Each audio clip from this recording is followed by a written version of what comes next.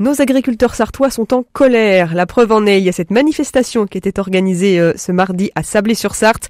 Pour en parler avec nous, Cyril Lemaître, bonjour. Oui, bonjour. Vous êtes euh, trésorier du syndicat des JA72, les jeunes agriculteurs de la Sarthe.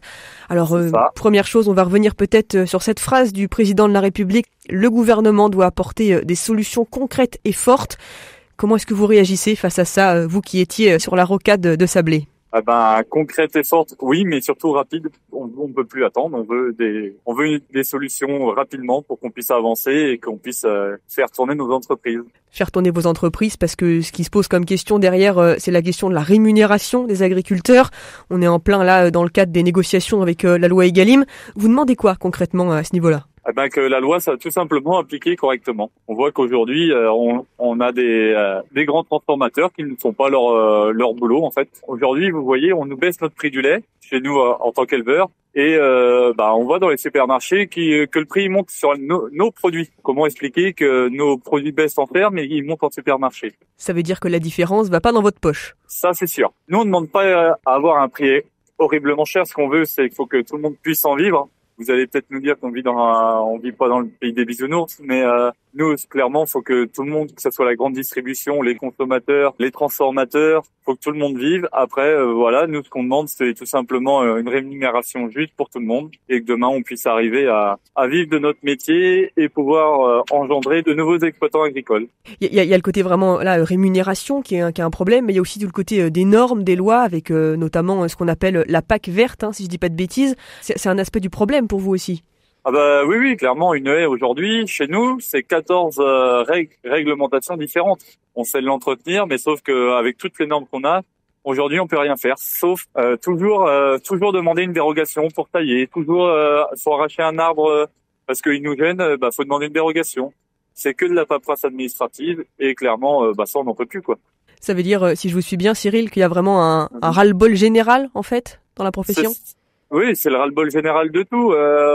Là, on était dans un contexte économique euh, pour 2023 qui était convenable. 2024 commence mal quand on nous annonce une baisse du prix du lait, alors que bah, clairement, il n'a pas baissé le prix du lait. Euh, nous, nos intrants, euh, ils n'ont pas baissé. le coût de l'aliment, il n'a pas baissé. Rien, rien ne baisse. Le coût de l'électricité, tout simplement, même, il baisse pas. Et nous, on nous baisse notre prix du lait. Comment on peut avancer comme ça ça devient compliqué. Alors parce que là, aujourd'hui, euh, à l'heure où on se parle, il y a les négociations avec le gouvernement, négociations euh, qui sont un peu au point mort ou ça progresse quand même un peu?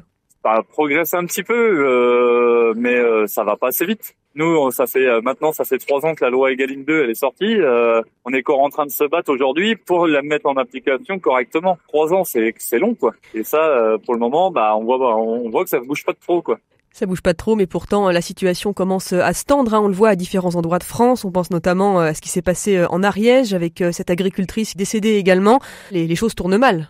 Bah, les choses tournent mal, oui, malheureusement. Euh, bah, c'est pas ce qu'on attend quand on veut manifester. On veut des choses propres. on ne demande pas un arriver jusqu'à voilà, malheureusement, à ce qui s'est passé, avoir un décès.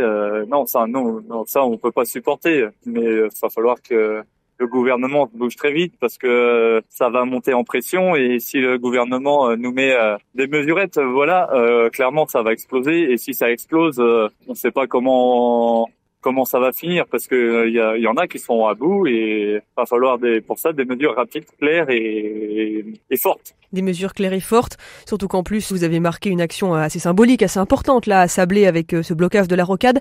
Ce blocage, il a été reçu comment par les gens qui étaient qui étaient coincés justement? Eh ben, vraiment, c'est un, une mobilisation qui était bien prise par les gens. Les gens nous applaudissaient quand on passait. Après, voilà, on, on a fait une opération escargot. On n'a pas non plus bloqué euh, pendant des heures et des heures. Et le but, c'est ça, c'est pas de se mettre le, le, monde à dos, déjà. Parce que nous, on a besoin d'eux et eux, ils ont besoin de nous. Mais c'est au moins de faire voir qu'on est présent et vraiment, euh, les gens étaient vraiment reconnaissants dans le centre-ville. Euh, tous les commerçants, les bah, les banquiers, même euh, même les gens de la mairie sont sortis pour voir le, le passage des trackers avec nos revendications qui étaient clairement affichées dessus. Donc non, non, franchement, je pense que ça a vraiment été accepté par tout le monde. Maintenant, si on regarde un petit peu l'agenda, est-ce qu'il y a d'autres actions qui sont prévues dans la Sarthe? Demain? Après-demain, euh, dans les jours qui viennent Oui, maintenant que c'est sorti, on peut officiellement le dire. Il y a une action qui est prévue vendredi euh, sur le Mans. On sera présent. Merci beaucoup Cyril Lemaître pour vos réponses. Je rappelle que vous êtes trésorier du syndicat des JA72, les jeunes agriculteurs de la Sarthe. Merci à vous, bon courage. Eh ben, merci à vous.